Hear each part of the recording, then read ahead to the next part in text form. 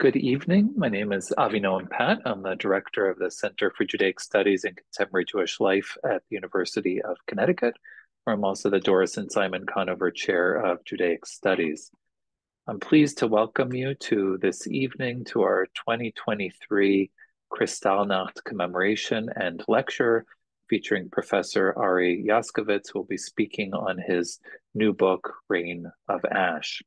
In a moment, I will introduce Professor Joskowicz and give him a chance to tell us more about his research. But first, as part of our annual Kristallnacht commemoration, I do want to note that tonight we mark the 85th anniversary of the Kristallnacht pogrom, the November pogrom on November 9th and 10th, the night of the broken glass, when the Nazis and their accomplices destroyed hundreds of synagogues throughout Germany, ransacked thousands of apartments, arrested uh, and sent over 30,000 Jews to concentration camps, and killed uh, at least 100, if not more, uh, Jews that evening.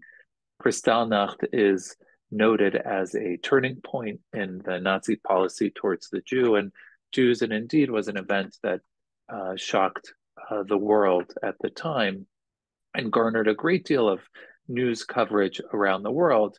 News coverage which noted with horror the ways in which Jews were being persecuted in Germany, Austria, and Sudetenland, um, but did not necessarily lead to any noticeable change in immigration laws um, at the time to assist the Jewish refugees.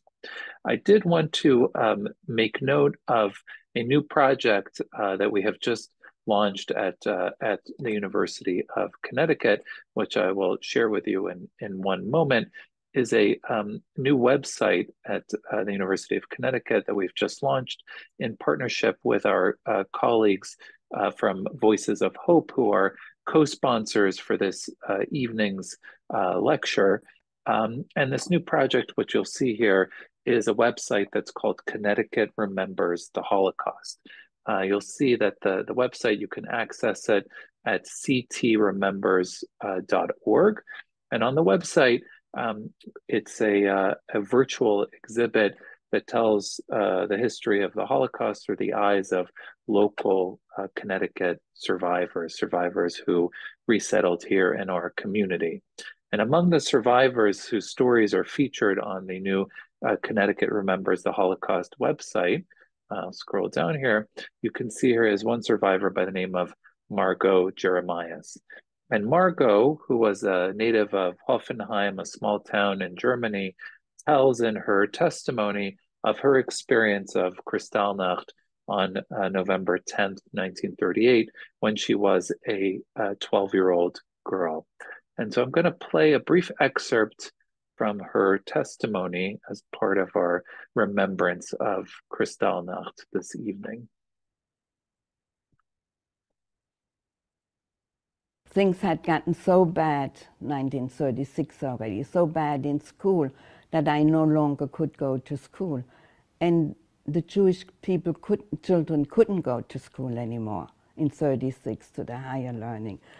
So there were Jewish schools that started in Heidelberg, there was a school, and I went to Heidelberg to school, which meant I had to travel an hour by train one way, each way. In 1938, in the morning of the 10th of November, I woke up and I went to school as usual. As soon as I got into the train, I heard people talking to each other saying, Oh, we had such a nice time last night. We demolished the synagogue and we demolished the Jewish homes. I was sitting there fearful they would not know that I was Jewish. I got to Heidelberg and I heard the shouting and the glass shattering. As I got into the station, killed a Jew. And I mean, I can still hear the glass shattering. That was the most terrible thing you could imagine knowing that it was against me. From that day on, I think I, fear never left me. The SR came, that's the brown shirt. There were six men and 12 SR men came to arrest the men. They walked them through the street to the municipal building My father could not go home to say goodbye. And we did not know what was going to be, but he was arrested then and there and sent to Dachau. That time, right away, then we got ID cards. Every male was called Israel. Every female was called Sarah. We had to give away our jewelry, money. We couldn't have any weapons, including a big kitchen knife. And from then on, I couldn't sleep without saying a prayer. Please don't let me be so afraid. On Yom Kippur, we had to give the radios away on, in 39. Uh, no telephone anymore. We became isolated in that sense. They were watching you. They knew when, where you were and where you went at all times. So sure enough, in the morning at 8 o'clock, the SR came and said you have two hours to pack two suitcases and to be at the municipal building. And you take food for three days. So the SI stayed in the building to make sure we did not take anything we were not allowed to take and watched over whatever we did. I went to do get some food. One of my former schoolmates ran after me and said, Thank God we get rid of you Jews. I will never ever forget that. That somebody I was friendly with could go run after me and say that. Okay, so that's one clip from uh, our, our site, Connecticut Remembers the Holocaust, and again tells Margot's experiences of Kristallnacht in Heidelberg in 1938 and the sense you can see the notion of the fear never left me the degree to which the traumatic events of that night and then what would follow stayed with her and with with her family. So i want to thank all of you for being here with us this evening. I think we all note that this year kristallnacht as we commemorate kristallnacht and the 85th anniversary of the november pogrom the degree to which it's especially poignant this year as we note just one month after um, the horrible attacks that took place in Israel and the, the loss of life that took place in the continuing conflict, how important it is for us to uh, remember, uh, to commemorate, and to note these observances and to come together as a community with these types of commemorations. Um, I'm also uh, want to thank you all for joining us this evening for the book talk uh, featuring Professor Ari Joskowicz. And I want to thank our co-sponsors of this evening's talk, uh, Voices of Hope, um, for their continued support of Holocaust education throughout uh, the state of Connecticut, and our UConn Gladstein Family Human Rights Institute. Thank you uh, to the Dodd Center for Human Rights for your support of Holocaust and genocide education. And of course, tonight's talk is also co-sponsored by the UConn Center for Judaic Studies and Contemporary Jewish Life and uh, the Jewish Book Council, of which uh, Professor Ari Joskowicz's book is uh, part of the series uh, that is being offered this year. So without further ado, I'm very pleased to introduce our uh, special guest uh, joining us from, I believe, from Nashville, Tennessee, from Vanderbilt University. so Professor uh, Ari Joskowicz is a historian of modern Jewish and European history. He's especially interested in the interplay between Jewish history and transnational minority politics since the Enlightenment. His book, The Modernity of Others Jewish Anti Catholicism in Germany and France, published by Stanford University Press in 2014, explores how German and French Jews in the long 19th century defined their own modernity and national belonging by criticizing the anti-modern politics of the Catholic Church. The book was a finalist for the Jordan Schnitzer Book Award in 2015. His newest book, Rain of Ash Roma, Jews, and the Holocaust, published by Princeton University Press this year in 2023, traces the unlikely entanglement of the histories of Jews and Romani throughout the 20th century, focusing on Western and Central Europe, as well as the United States and Israel. And this book, Rain of Ash, will be the focus of his lecture this evening. His work has been supported, among others, by the Rosenzweig Minerva Research Center, the Hebrew University of Jerusalem, the Lady Davis Fellowship Trust, the Center for Advanced Judaic Studies at the University of Pennsylvania, the American Philosophical Society, the American Society of Learned uh, Societies, the Vienna Wiesenthal Institute for Holocaust Studies, the Oxford Center for Hebrew and Judaic Studies, and the United States Holocaust Memorial Museum. One final technical note, and then I'll turn it over to Ari. Um, if you have questions uh, for our speaker uh, this evening, you can either use the chat function and we'll take your questions at the end of the lecture, or um, we're a small enough group, you can also raise your hand. Just please use the hand raised function so that I see you, and then I'll be able to unmute you so you can ask your question. So without further ado, I'm delighted to turn the screen over to Professor Ari Joskowicz.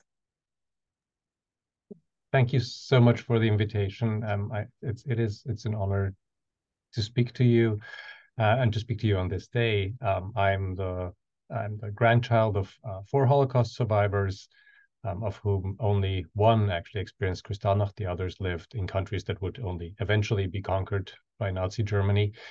Um, um, and I so this is a date certainly of personal significance, and it clearly is a date of significance in the Jewish calendar, which makes me especially happy that you we are making space here to to think broadly about Jews and and about another group who were persecuted um, at the same time by the Nazis.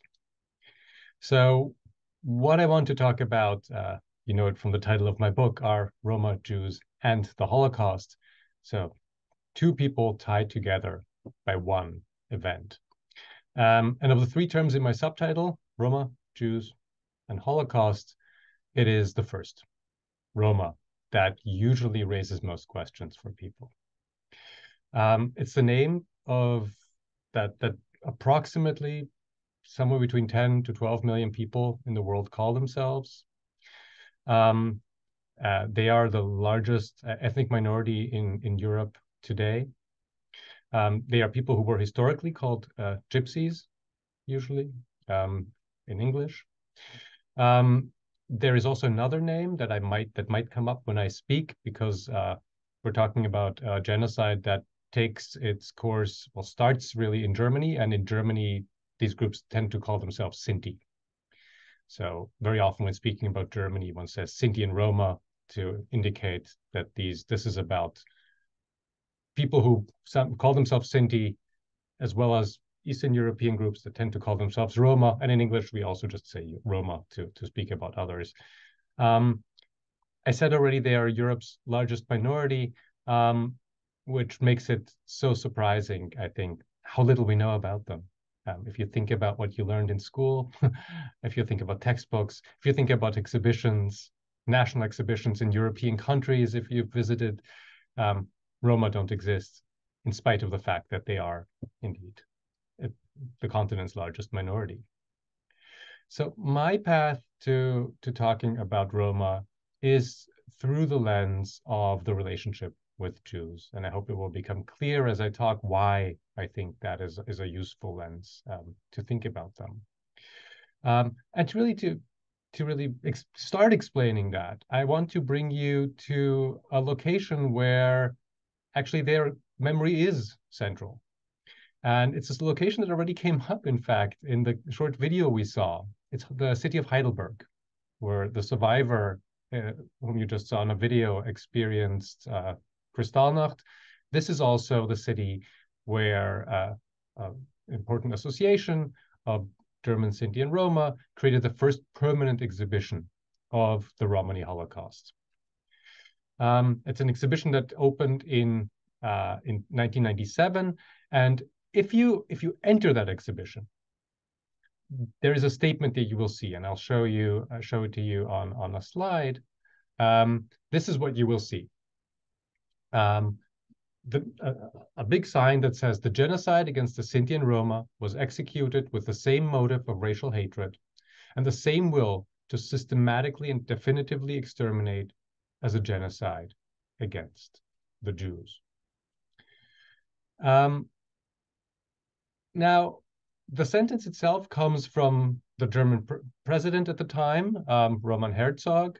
Um, uh, so in, in the late 90s, um, the same sentence was discussed as an inscription, in fact, um, for a monument that was built in Berlin to commemorate the murder of Europe's Sinti and Roma. Um, it was eventually they chose a different inscription. It is also the sign you will see if you go to the memorial grounds on what was the Auschwitz uh, concentration camp. Uh, the exhibit there on Roma and Sinti will have the same sentence. Um, what you can see here is how central the murder of Jews is for people who try to explain what happened to Roma. And obviously, this is it's a one-sided relationship we're talking about. You can you can get that sense here already. I think it's very hard to imagine um, that there would be any any equivalent sentence in uh, right, the Holocaust Museum in Washington D.C. You would never enter it and say that um, there the murder of Jews is was done with the same motive of racial hatred as the murder of Roma because it would be a way of explaining the lesser known, the, the better known genocide with the lesser known. So we see is an asymmetry. Now, when I say asymmetry, it's actually important to remember that many Jewish survivors will concede and did speak in public and wanted to say in public that Roma suffered like us. This will be sort of the gist of what they will be saying. And I think it actually became good form uh, in progressive contexts um, to say, to recognize the Roma also as a forgotten genocide.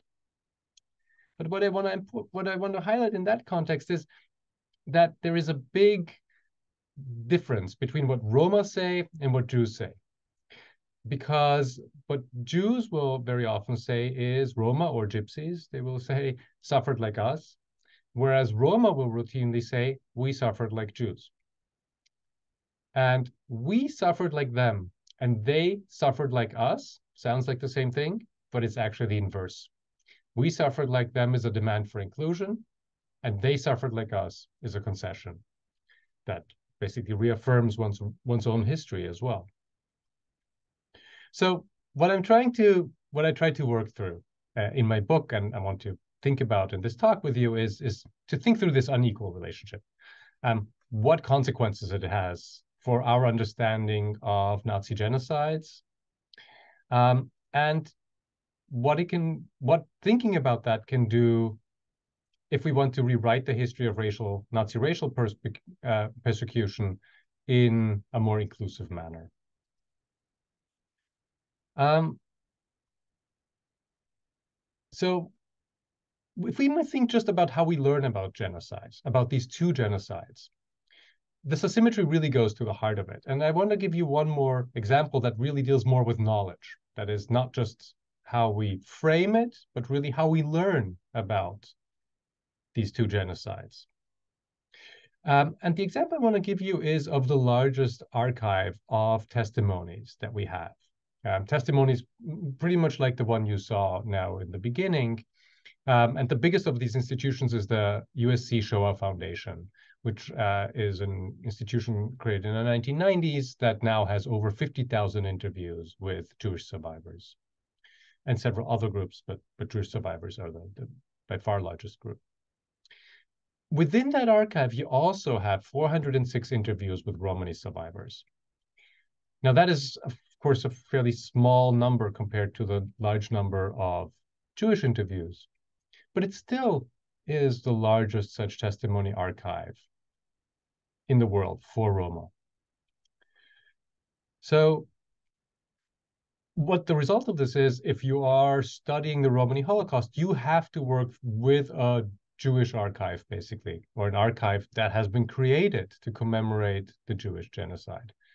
And what I'm trying to figure out too, and what I want to discuss here, and want us to think about, is what it really means when one history is made to encompass another history. When one minority group controls, owns a large part of the archives and thus the history of another group, or in other words, which types of responsibilities it actually creates.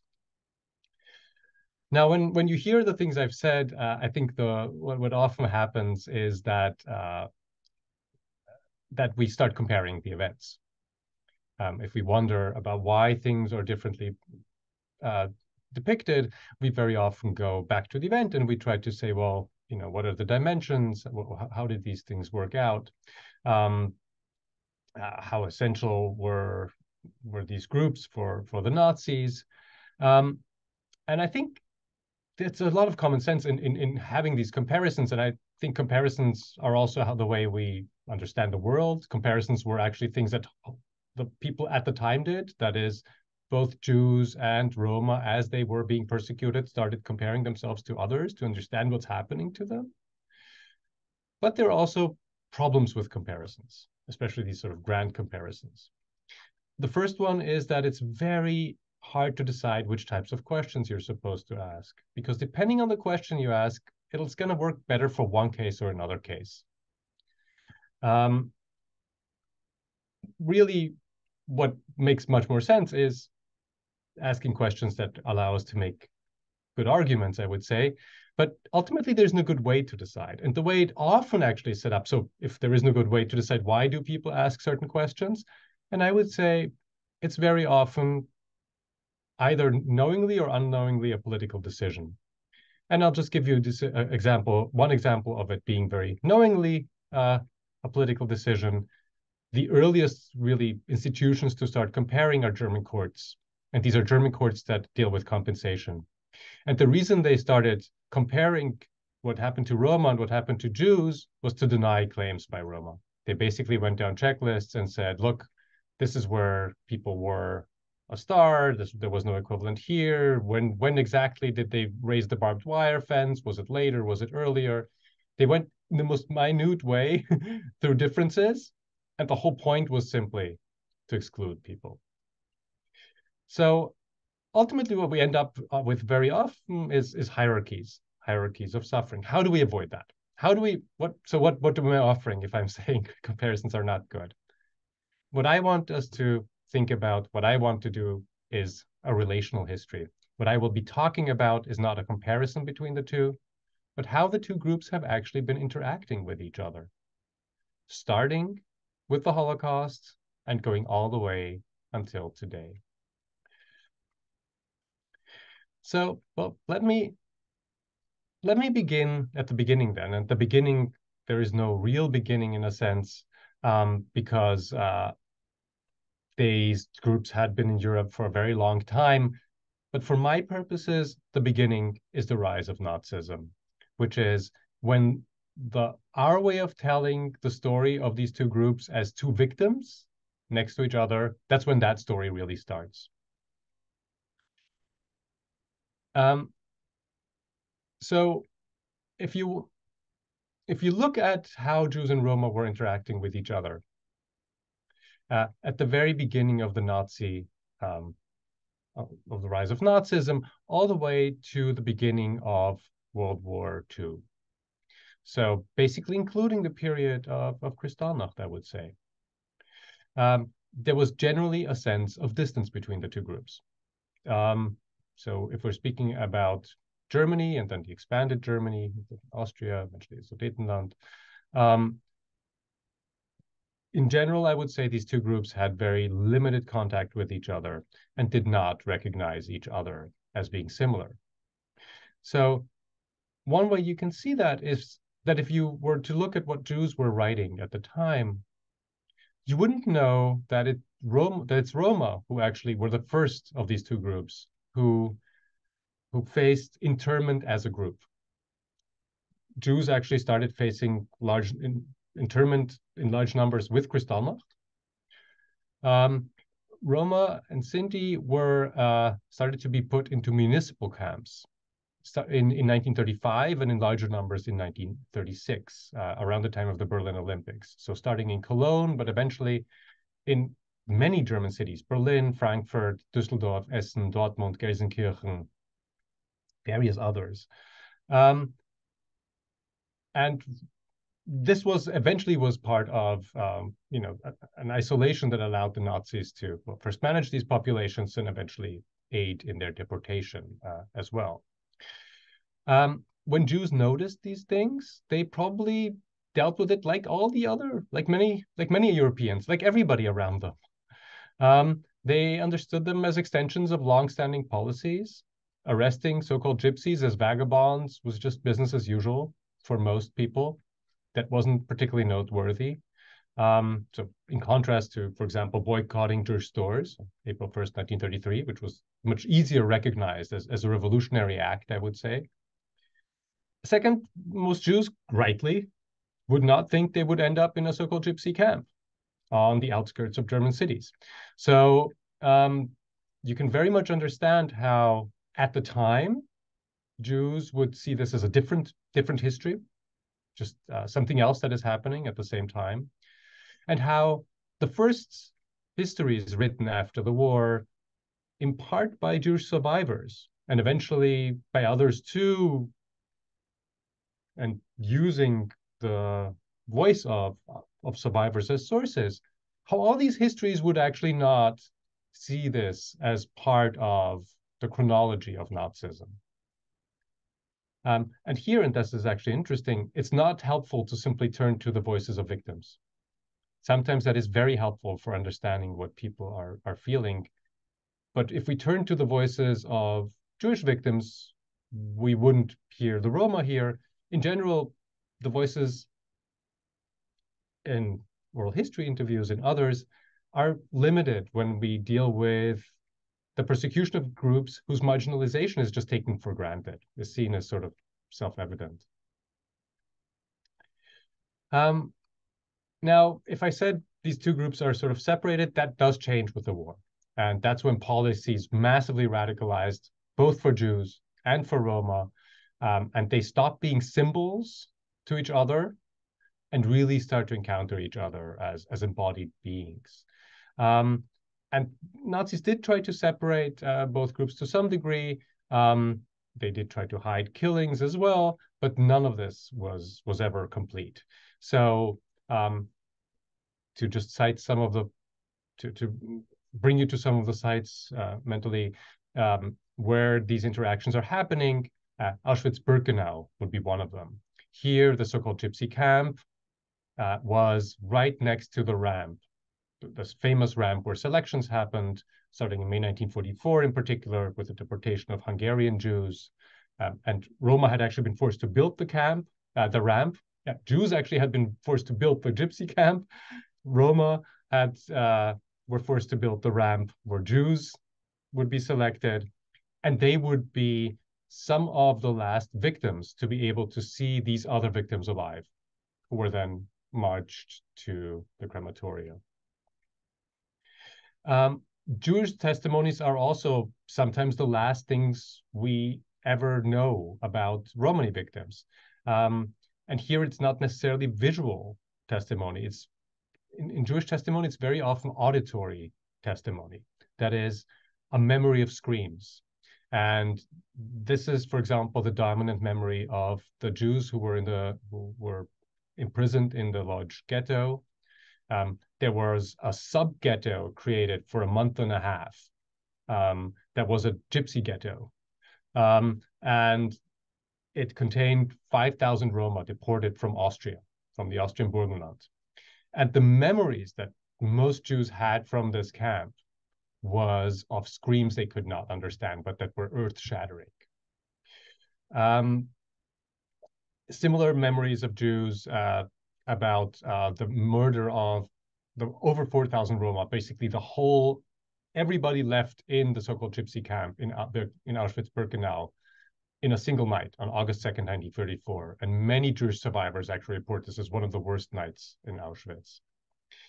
Um, and we don't know the Romani side of either of those, actually, because every single person was murdered in Auschwitz, but also in Lodz. Uh, the 5,000 Roma in Lodz, 700 died within weeks because of typhus and, and other diseases, and the whole rest were murdered in Chelmno um, very soon afterwards.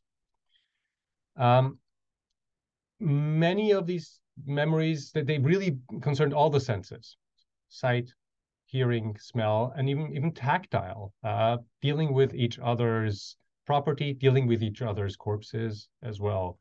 Um, in Chelmno, for example, where these Austrian Roma were murdered, it was Jews who had to bury them. Um, who then, according to the testimony that actually would warn the Warsaw Ghetto that there were killings happening, that mass killings were starting, that testimony reports to us how the Jews forced to bury the Roma in January 1942, at a cold January, then took the clothes of the Roma who were buried there and were subsequently shot on the top of the Roma they had buried. So what you can see is is is an physically these these two groups are now in the same place and, and experience some of the same things. Um, the paradox here is perhaps that none of these interactions, and, and some of these obviously are, are incredibly gruesome, um, none of those actually create familiarity. Hearing somebody being murdered, seeing somebody being murdered doesn't make you understand them, doesn't make you know their name. Um, when there were interactions where people actually spoke to each other, those were very often much more traumatic. And the interactions were traumatic because it was because the Nazis set up the conditions where this could be happening. One such place, I'll just mention one, most famous one, was when Jews from northern Transylvania were deported to the so-called Gypsy camp, and for about two weeks, German Sinti, so German Romanis were their capos, were in charge of them. Um, and the memories are generally of mistreatment by the Roma who were in charge of them. And the most famous person to remember this uh, was actually Elie Wiesel, um, who had this in Night, both in Yiddish version and all the later versions. Um, it's he has a, a, section where his father is beaten up uh, by a Romani capo, and this is it's a crucial turning point in in his in his memoir where this makes him realize uh, really how this is a new situation where he has no way of defending himself and defending his father. So it, it, it is the helplessness is is encapsulated precisely in these in this interaction. Um, now, in I should say Jews were actually much more often in charge of managing Roma, and that is simply the case because um, usually Roma ended up in spaces that were first established to detain Jews and Jews were just more available to manage the others in these circumstances, such as in the Lodz ghetto. So what you can see here already, I said relations, right? This is incredibly complicated and very often incredibly painful, the things that people experienced.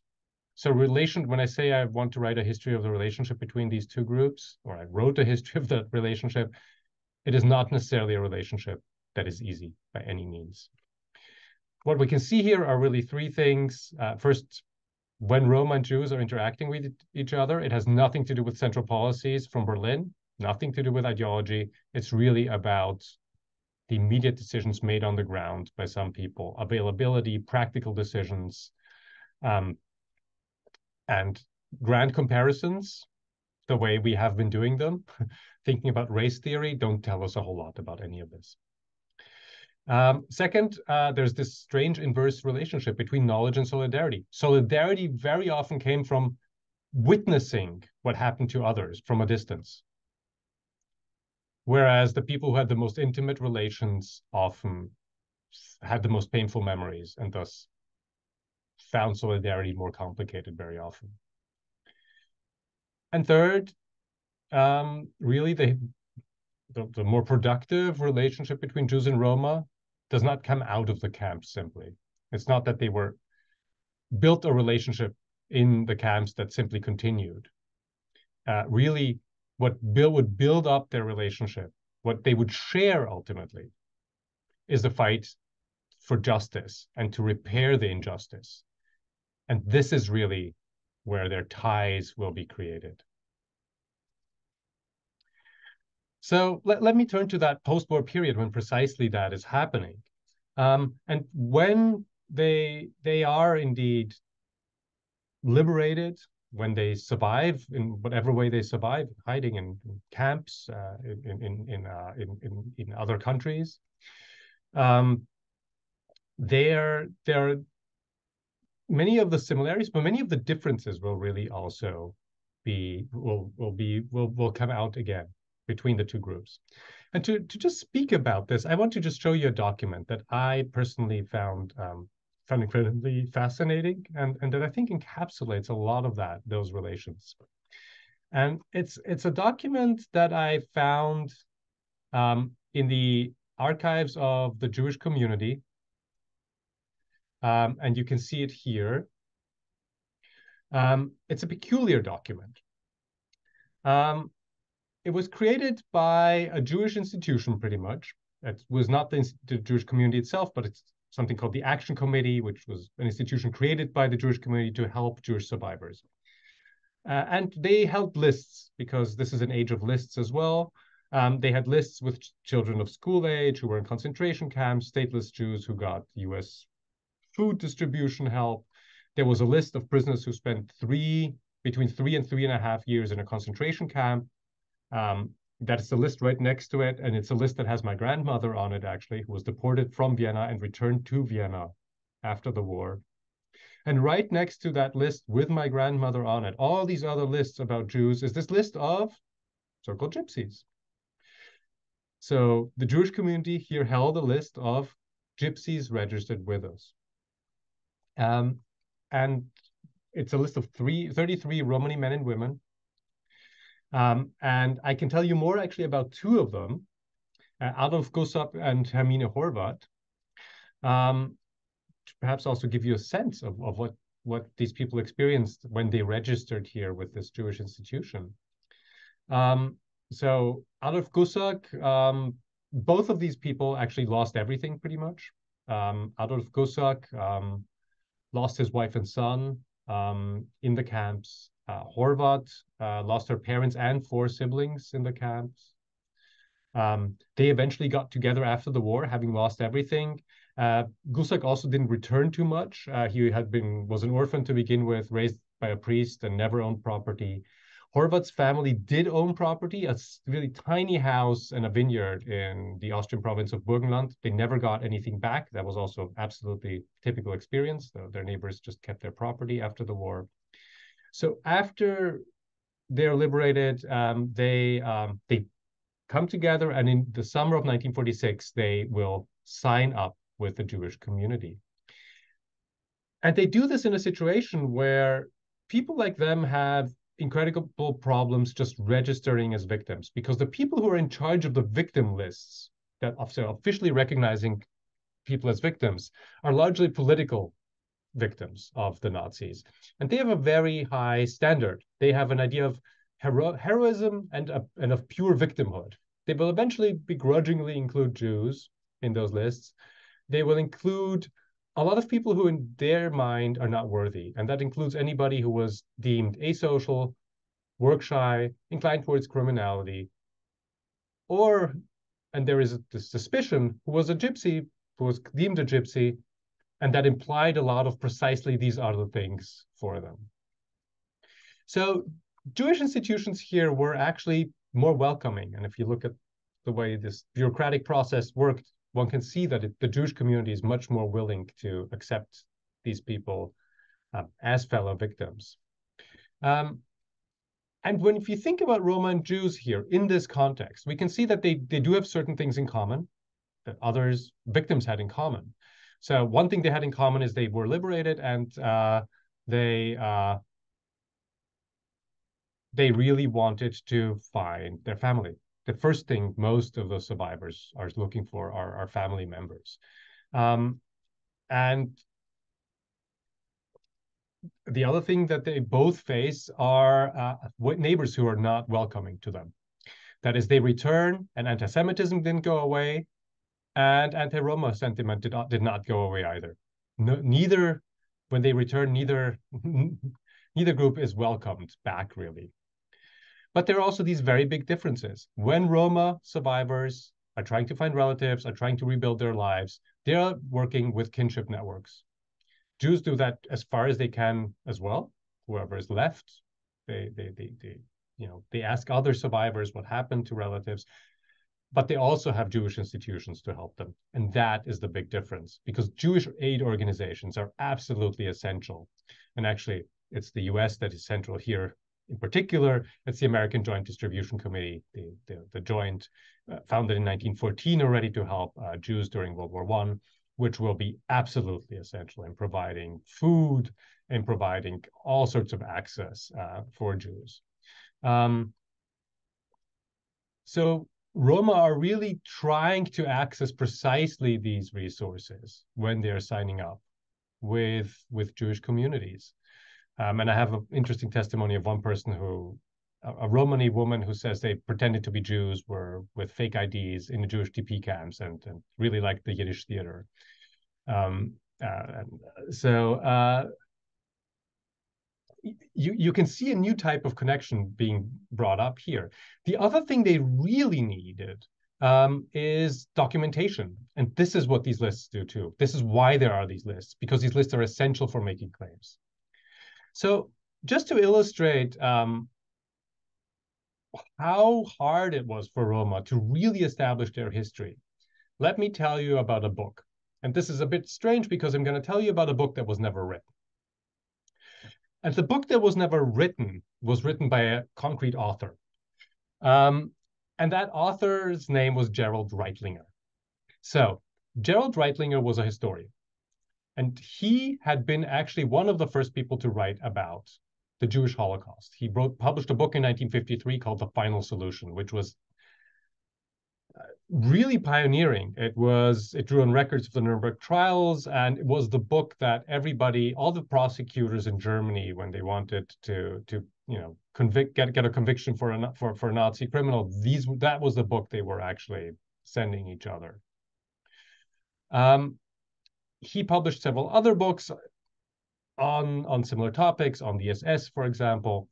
Um, and uh, he had a publisher uh, for these later books uh, was an Austrian Jewish emigre by the name of George Weidenfeld, later Lord Weidenfeld.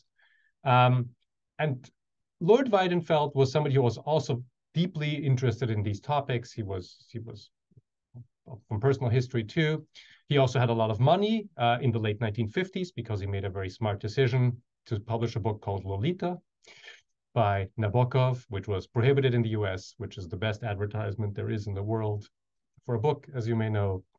Um, so he had resources, and he told one of his favorite authors, Reitlinger, why don't you write a book? Why don't you write a book about the Romani genocide? Nobody has done that. You're a specialist. You already wrote about Jews. We know this other group has been murdered. Nothing has ever been published about it. Why didn't you write a book about it? So what what does an author do? What does uh, actually he was a he he wasn't even a proper historian, I should say, right? Reitlinger. He was actually an art historian, um, a peculiar one. Uh, but so, what what does a person do who has written historical books and wants to find out about these things? There are several things he could do. There are people who are dealing with so-called Roma. Uh, with the so-called gypsies, uh, the Gypsy Lore Society was a famous one in Liverpool. They were sort of the specialists on Roma, sort of anthropologists, if you want. They didn't have an archive; they couldn't really help him. Um, and the other thing he could really do um, was to write to survivor associations. And he wrote to one of the biggest ones, to the head, to the secretary of one of the biggest ones, the International Auschwitz Committee, to a man by the name of Langbein, who was also George, who also worked with George Weidenfeld. So the, the editor is putting people together here. Um, and he Reitlinger asked Langbein to please help him find material on the Romani genocide. And this is from their, uh, this is a short exchange from what from, from their letters, because Mr. Langbein from Vienna tells Mr. Reitlinger in, in England that responding to your letter, I have to repeat that currently material about the fate of the gypsies in Auschwitz is not available in a collection. And Reitlinger reacts by saying, well, if it's not in a collection, I'm not writing a book. Um, which really upsets uh, Langbein, who actually seems to then writes to um, George Weidenfeld. Reitlinger seems to have expected that I would have sources all collected and ready for him. Um, this might, of course, be a secret about how historians work. We rely on the work of, of others to collect our materials very often, uh, including civil service servants. And this is clearly what, what Reitlinger had hoped for. Um, the reason Langbein was upset is not just that he thought Reitlinger was lazy, it's rather because he understood what it would have meant for Roma. He worked with a lot of Austrian Roma who were trying to make claims whose claims were denied by the state. He understood what it would have meant if they, like Jews, in courts, could point to a book and say, no, no, this really happened. There is somebody established here who can prove that. Um, and all of this eventually did change. There were people who would slowly write, collect information material, would create precisely the archives that Reitlinger needed. And again, it was Jewish archives that would eventually do that work. And I just want to mention one of them here, which is the Wiener Library in London, which was the first to really connect generally victim testimonies. It's the oldest Holocaust library, the oldest Holocaust documentation center in the world.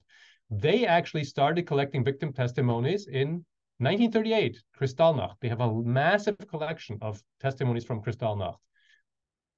From the collected in 1938 already. Um, they had also a visionary person running their program on testimonies and the research program generally, German Jewish emigre again, Eva Reichmann. And she um, started a program asking her connections in Vienna again to please get testimonies from gypsies, as she said. Um, so what we're seeing is a Jewish archive, a Jewish survivor herself, starting to ask for these testimonies. Uh, here is one of those testimonies, and it is actually the testimony of Adolf Gusak, the person whom I introduced you before, from that list, from that Viennese list, whose life I introduced to you very briefly. The only reason I know something about his life from a list is because a Jewish archive ended up paying 250 shillings, so $150, to interview that person in 1958. And I should say the reason I added how much is paid here is not because I, it might sound cynical, why have amounts there? It's to remind us that documentation work needs funds, needs resources. And it's precisely that which Roma were missing. Um, the Wiener Library actually had this program thanks to the Claims Conference, which had an incredibly complicated construction to get the money via Yad Vashem. But ultimately, it needed it needed donors. It needed, in the case of Wiener Library, lots of small scale donors, lots of survivors actually uh, su sustaining the institution. Um, it needed all that for us to to be able to know um, to know the story of these Romani survivors. So um, many other Jewish institutions would follow this. I won't go into any details. I'm happy to speak more about others who followed in that path, historians, Jewish archivists, who would really make the Romani Holocaust available to us. So you can see that example I gave in the very beginning is at the end of a very long history of Jewish institutions actually doing this work. At this point, I should say two things uh, are striking to me. Um, the first thing is uh, you would think that uh, it would be 1968ers and the new left that would really care about the most one of the most marginalized groups in Europe. But the people who really do this type of work are Jewish survivors, and they're not the people who are politically motivated originally. The second is that not all of the people who would do this will be actually self-identified Jews. Some would call themselves communists. Um, they're, they're actually fairly diverse bun bunch. One of the most important is actually Simon Wiesenthal, who was on the political right, both in Europe and in Israel. So, so Herut, Likud, and Christian Democrats in Europe. He was, and he was deeply invested in that. Some of them he would clearly identify as strongly Jewish, others would not, including people who were his close friends.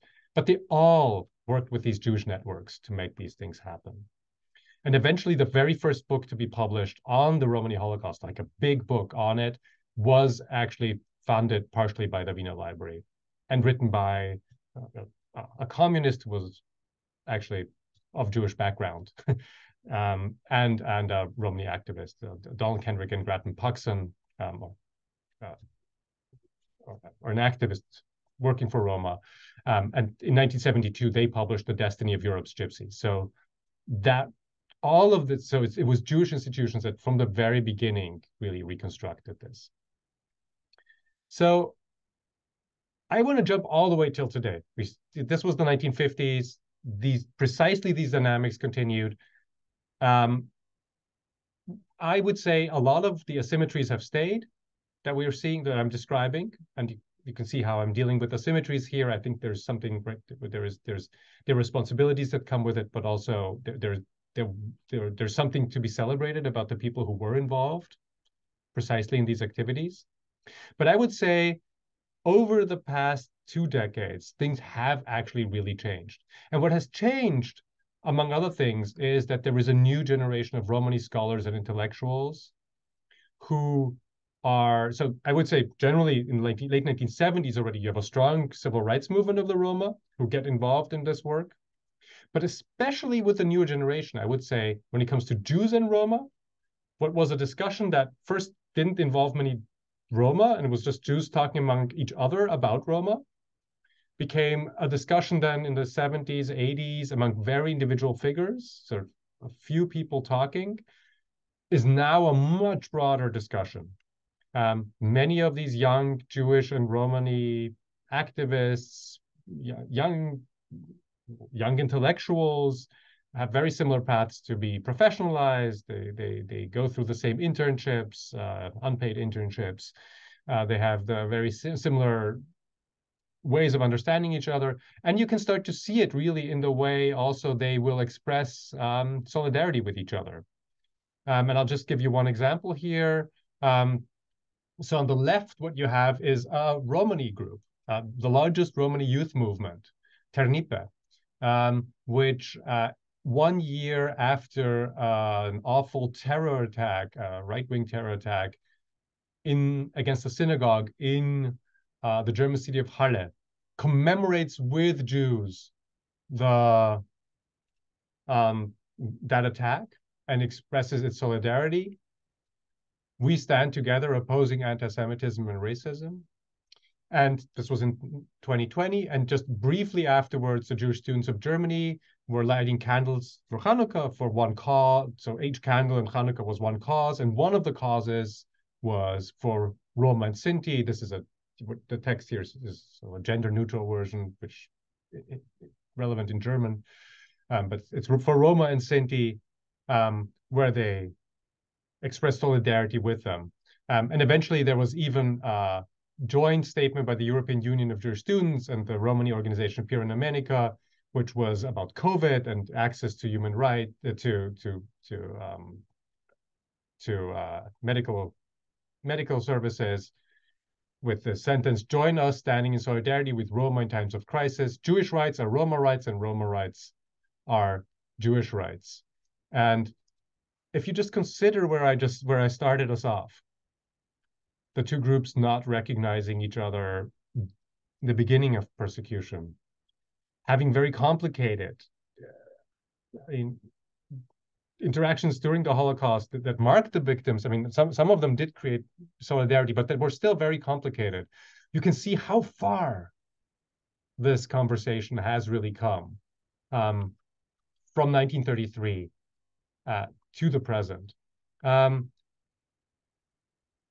and what I what I so what what do I hope we can get out of this? I think I would like us to to, to think together about about about alliances, about about recognition, um, about the role that Jewish institutions have, and actually Jewish here. I mean, this I'm speaking at a, a Center for Jewish Studies about Roma. The the the role that that centers like like your center um, have in in speaking about that that history that has been marginalized, um, and ultimately, I would say that it's the story I'm telling is actually a, an optimistic story. Oddly, um, it's a story about about alliances that are possible. Um, my own book is a result precisely of the conversations that have been happening between Jews and Roma. I've profited from these conversations. Um, my book could not have been written without them and, and without the help also of Romani activists, I would say.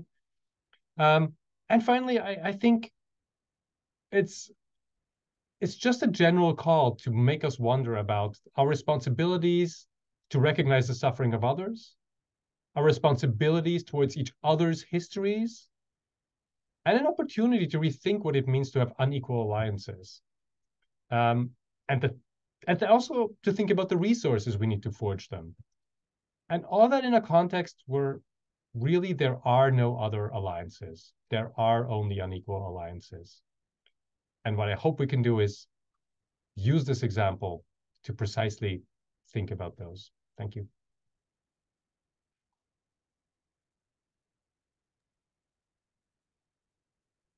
Okay, thank you so much, Ari, for a fascinating and really enlightening lecture that I think uh, shed a lot of light on a new topic for many of us. So I, I appreciate your joining us this evening to uh, to teach us a little bit more about this history and this shared history. Um, I want to open uh, the floor to the audience. If you have questions, please feel free to use the hand raise uh, function or the chat. Um, I'll start with one question, Ari, and then I'll I'll turn over to questions that are that are coming from the audience.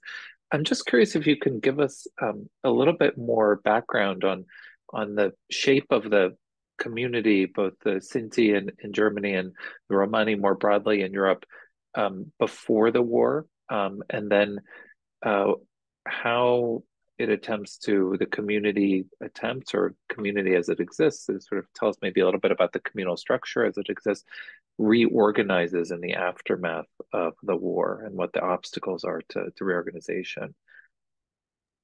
Um, so generally, let me say that Roma and Sinti are an incredibly diverse group. They, in terms of religion, they have the religions of their neighbors very largely. That means uh, Catholic in Catholic areas, Protestant in Protestant areas tends to be more more, more Catholic usually.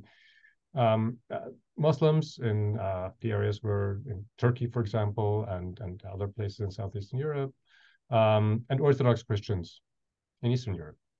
Uh, they uh, they speak uh, many of them speak a language called Romani, which can unite them. Some groups don't actually speak that language. Um, they are more recently, I think, united by a stronger sense of a shared ethnic heritage and a shared history of migration from India in the Middle Ages. Um, they also, historically, the self organization works within subgroups, I would say. And these subgroups don't necessarily, they have an awareness of each other, but for example, they don't necessarily intermarry which tells you some. So, so the interwar period already sees first attempts at self-organization. You have Romani unions. There's a there's a Romani there's a sort of a Gypsy mus musicians union in, in Hungary, for example. Um, Yugoslavia, various states have have some attempts of self-organization, but it's not international. They're small. They're not. They they don't work out very well. I would say, from what I can tell, they don't cover many people. They're very different from the Jewish community in that sense the post-war period, eventually by the 1950s, 60s, sees really the first attempts at international self-organization. And there are always two models. One is a, a, sort of decolonizing world, but for Roma, really the model was very often Jews, including Zionism, which fascinates many of the figures, especially when they turn to evangelical Christianity, which some of them do. Um, and uh, so as far as so so there there are no communal structures in part because this that that that that would match Jews. So the Jewish communal structures are really also intermediary bodies between Jews and the state.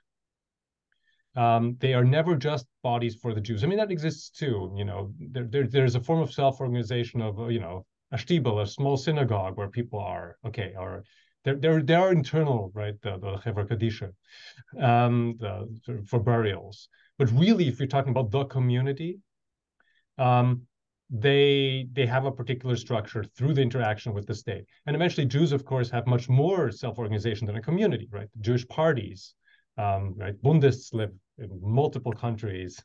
uh, there are um, so there's this political organization across countries. Um, you have the uh, big philanthropic organization. There is no equivalent for Roma when they in Germany, for example, there's central organization will become the Central Council of German, Sinti, and Roma, which takes its name from the Central Council of German of, of Jews in Germany. Um, so it, even the names is mirror it. Um, and until today, I would say there is no similarly. I mean, Jews are decentralized too. It's not it doesn't work like Catholic Church in terms of hierarchy, um, but uh, but at the same time, I would say that there there are profounder differences and there's a profounder diversity within the Romani community. Um, so uh, the it's it's fascinating when one moves between subjects and fields, right? I'm I'm not just didn't just grow up as a Jew. I'm study Jews, um, and and you think, well, you know, there there are conflicts within, you know, questions about who is a Jew, etc. And Jewish history might be people doing Jewish history might wonder who counts as a Jew, who doesn't count as a Jew once they deny their Judaism. But really, those pale, those those issues pale compared to the challenges of writing the history of communities that that really were did not have that cohesion in general. Um, so that's just just I hope that that answers the question. Yeah, very very interesting. We've had a, it's really fascinating. A few more questions have come in. Um, Ruth, I'm gonna uh, ask you to unmute if you can do that to ask your question. I have a very different type of personal story. My daughter is a Slavic Yiddish singer who was on tour in the Balkans, in Bulgaria, where she met a backup Romani musician whose music is very similar to klezmer. Uh, they became very close. They're both activists. They continue to tour. Mm-hmm. And they eventually married without telling their mother. Eventually, I found out because he's a Muslim and mm-hmm. she was brought up Jewish. Um, but they become very active in California, especially in Berkeley, on telling about Holocaust divisions in Bulgaria by the king who accepted some Jews who were native to Bulgaria, yeah. but not those who are seeking refuge and fleeing from persecution. Though in my family, the Holocaust um, memories, are, there are no living survivors. And his family, he does not know names of people who suffered, but both of them continue to perform the music of their ethnicities. Do you find a lot of this going on in the world? Yeah, so, so there are two things. One is the music, one is the the other is the history. And Bulgaria is is is, is complicated, and and these histories of these countries have often not been written for the Romani Holocaust. So it's very hard. It's it's interesting how for per, how how personal histories and recognized histories interact, right? When we when we tell stories to others, I mean, people have their personal memories, but even to convey them to the next generation, tell them to kids, children, grandchildren, it makes such a difference if it's just a story that's out there, and you can say this is the larger story you already know, but my story is versus just not having a story. When it comes to music, so this is I, I said Jews and Roma don't interact in, in some, I made the very broad statement that that these in, these communities don't always interact, which is not true for some regions in some places.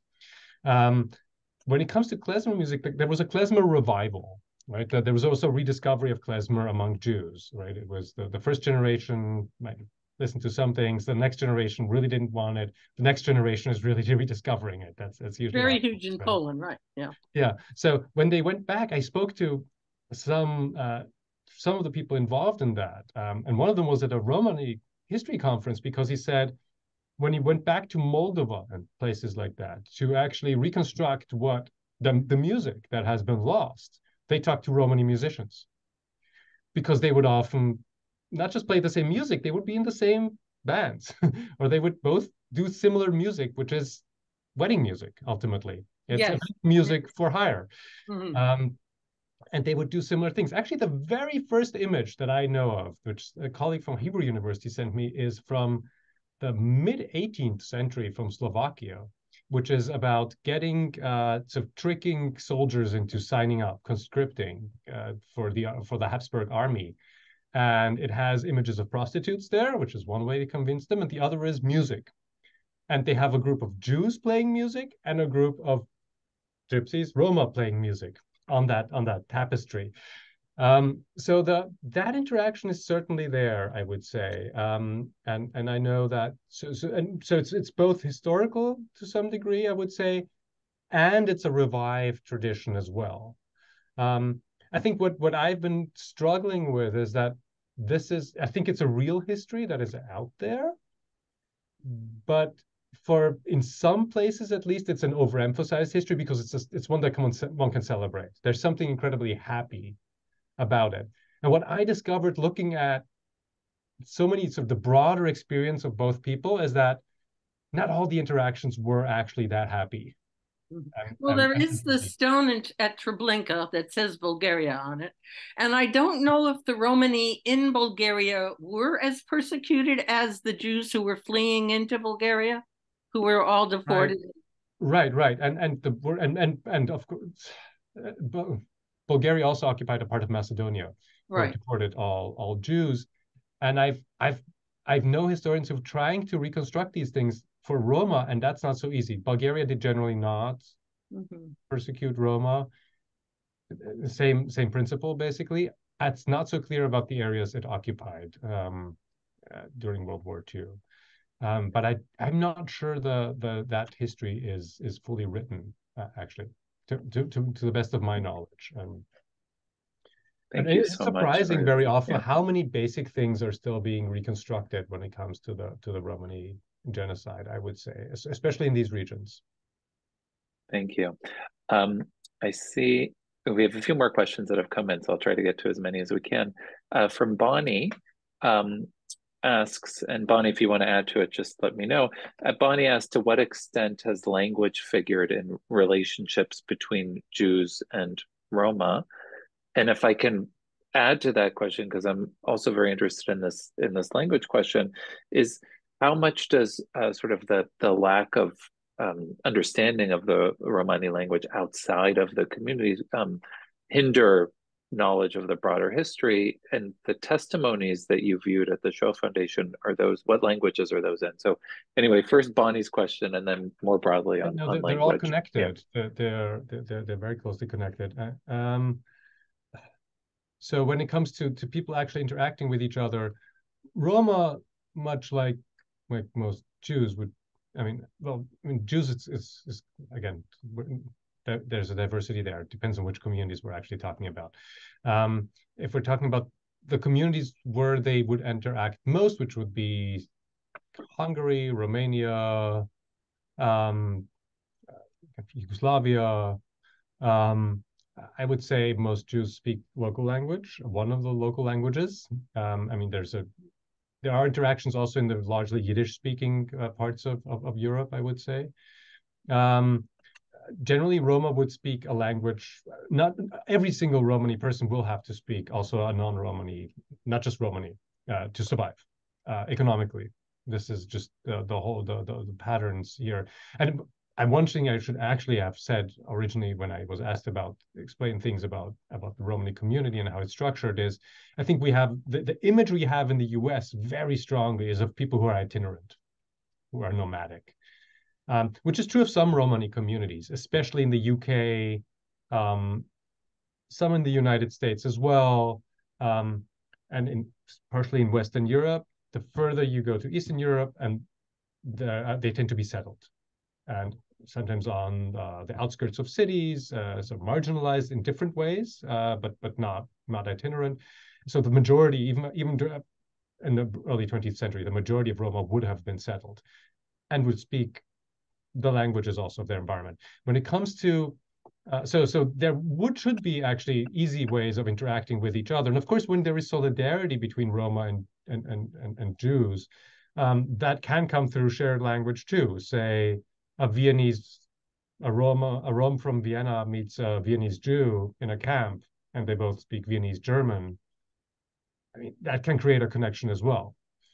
Um, so right there, there, are many more dimensions of just being romani or just being jewish obviously um, that, that, can bring people together language can be that um, when it comes to i mean so i i, I tried I, I learned some romani for the project but ultimately there are a few sources in romani my romani is not good enough to listen to interviews by, by any means.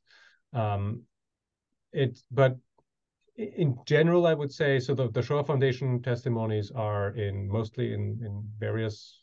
Uh, they're Polish, uh, in, uh, Ukrainian, uh, in, in, in various languages, um, uh, Serbian, as well. Fortunoff Archive too. Fortunoff Archive has a large one in large collection in German, in fact.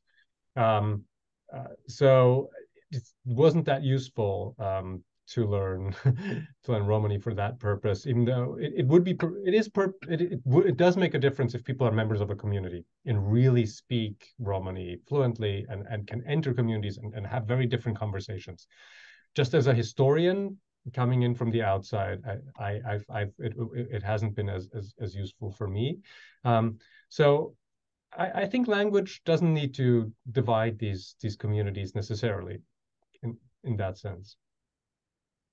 Interesting. Thank you. Uh, there's another uh, question from uh, Coleman who asks, are there Roma in the US? How, when did they get here? And, and tell us something about the nature of the community in the United States today. Sure. Um, so Roma, one, one thing that is fascinating with Roma in the US is their invisibility in a country that ha- celebrates hyphenated identities. Um, and the invisibility tells you something about what it means to say that you are a so-called gypsy, which usually is not to anybody's benefit. So even though, you know, mentioning that you're a member of an otherwise not recognized if you can pass and you don't have to be a member of a minority, sometimes for many groups, including Jews, maybe there, there are places where you don't want to highlight your Jewishness historically. But that's not true across the board, right? And there are urban centers when Jews arrived, right, Lower East Side, where you you would have whole parts of town that are identified with a particular ethnicity, right? There's German towns all over the U.S. There are the Chinatown, Little Italy, etc there is nothing equivalent for Roma. When Roma mentioned they are so, and one of the people you would call gypsies, usually it just leads to suspicion. You know, anything it, it, it leads to bullying in school. Learning early on that this is not something many many Roma learn very early on that this is not something that you will ever say that that that you know is that you would show in public. Um, so we don't have statistics really that are good about Roma. Um, uh, there are estimates of a million. Um, I, I I can't check those to be honest. Um, I've heard higher ones too, but again, I have, I have no no way of of, of of of confirming those. When it comes to where they come from, it's very similar to to other migration movements. They come when their neighbors come. So the from from the UK, the Romanichals, they will come say 1840s, 1850s. Uh, then uh, there are groups that come from uh, Calderaș uh, that will come, some Romanian groups and Serbian groups um, that will come, say, 1880s. Um, there will be people come from Yugoslavia, like sort of the, the same is true also in, in other places, I should say. And like guest worker migration in Europe, right? There's Turkish and, and, and in this case, Yugoslav groups that come to Germany, Austria in the 1970s, 1980s. Many of this will also include Roma, um, basically traveling with with their neighbors. So um, uh, those, so so that that will be the and, and you have you have distinct communities. So the New York in the in the Bronx, there's a Muslim Romani community from uh, from Macedonia. Um, there are these these particular other groups that tend to be more in California, etc. So, but but there is what, what it is a peculiar history in, the U.S. And again, there the, the fascinating thing is, if we know something about Romani history, actually the Holocaust is the thing we know most about.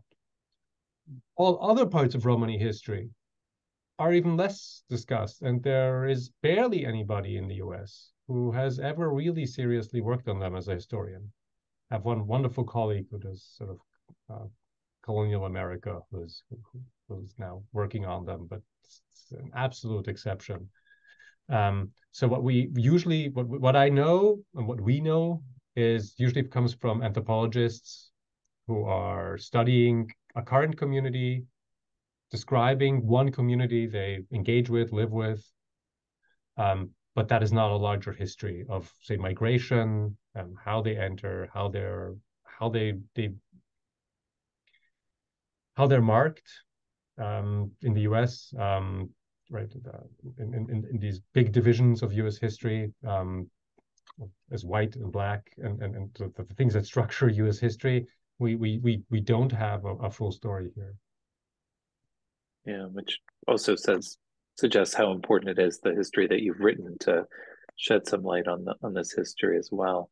Um, we'll take one one last question um, and make it our final question. This is uh, from from Bonnie, um, who asks, and I suspect it's related to the point that you just made about the lack of a history. Uh, to what extent, Bonnie asks, is there a Roma literary tradition, and is there any written documentation by Roma about their Holocaust experience? I mean, it's a, historically, it tends to be more of an oral culture. Um, and some of the first written documents are uh, come out of that oral tradition, including poems that are are also songs. Um, uh, uh, the um, there is a there is a there are eventually there are Romani writers, um, uh, especially I would say in Eastern Europe, um, who who start to to write uh, to write about history. Um,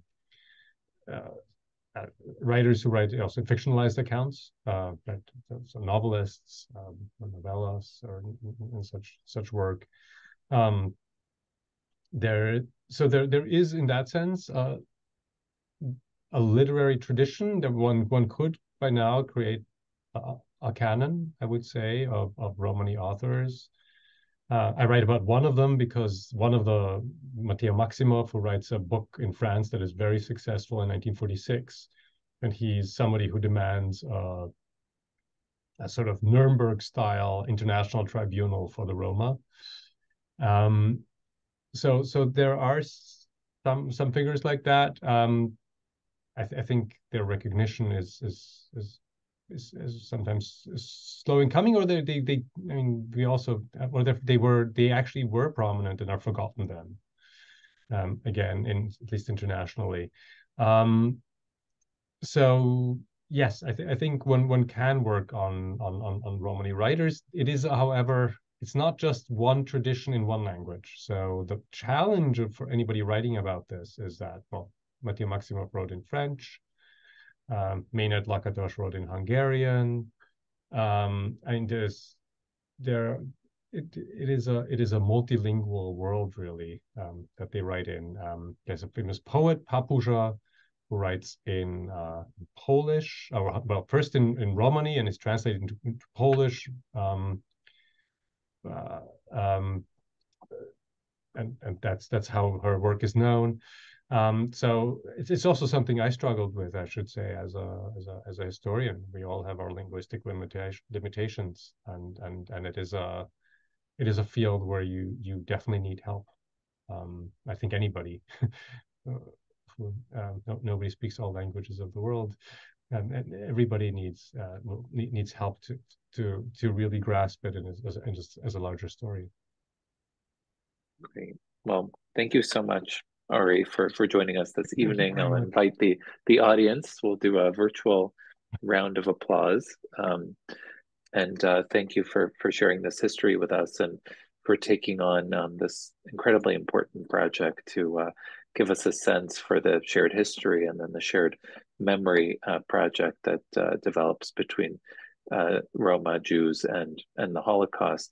I want to thank you all for joining us this evening for our 2023 Kristallnacht lecture. And I want to thank our co-sponsors uh, from the Jewish Book Council, from Voices of Hope, uh, from the uh, UConn Gladstein Family Human Rights Institute for uh, co-sponsoring uh, this evening's program.